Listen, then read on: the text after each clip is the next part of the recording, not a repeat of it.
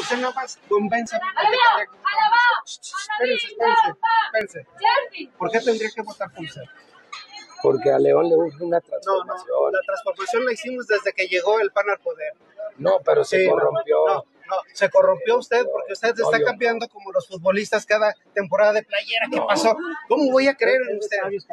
No, no, Mira, son ideologías. Y le voy a decir yo una sigo cosa. la misma, soy Usted sí vive en el engaño, señor, porque ese señor es un mentiroso. No ha comprado una sola vacuna para vacunar a la gente. Es un padre irresponsable porque no les da lo que necesitan. No hay que darles pescado, hay que enseñarlos a pescar.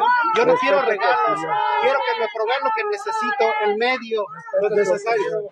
Y no voy a votar por ustedes. Inverso.